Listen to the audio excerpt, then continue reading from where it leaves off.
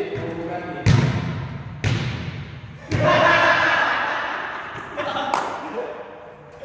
we bought two from Costco and one from Amazon.